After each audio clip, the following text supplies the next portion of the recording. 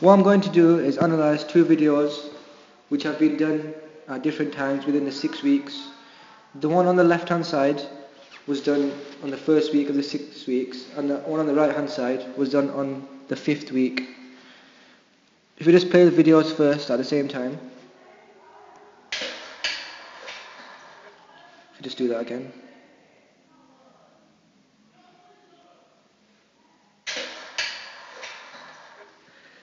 If you look at the left hand side, if you look at the angle of my back,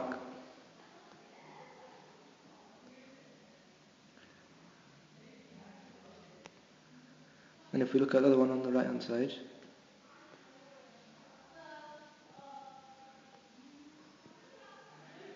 they're quite similar, but the one on the right hand side is much better.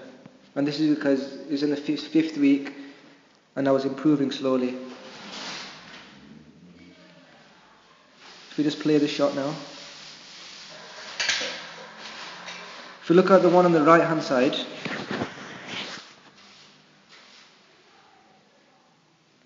if you watch my feet when I take the shot, there.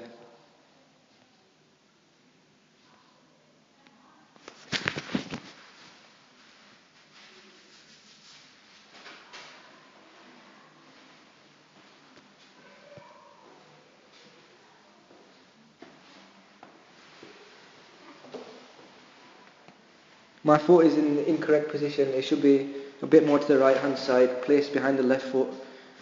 And if we look at the one on the left hand side,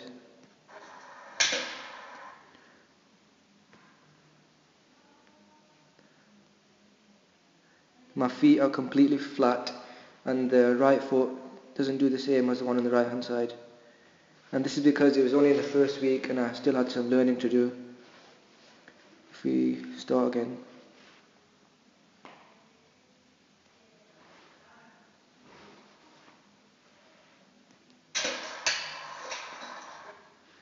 If we look at the height of the club on the right hand side, you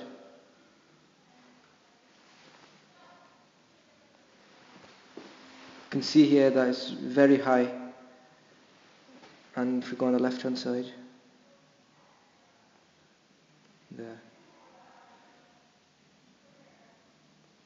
Because I was doing a full swing it was okay for the club to be this high but the one on the right hand side is, is too much Having said this, I was able to get enough power in the shot, which is good for a full swing.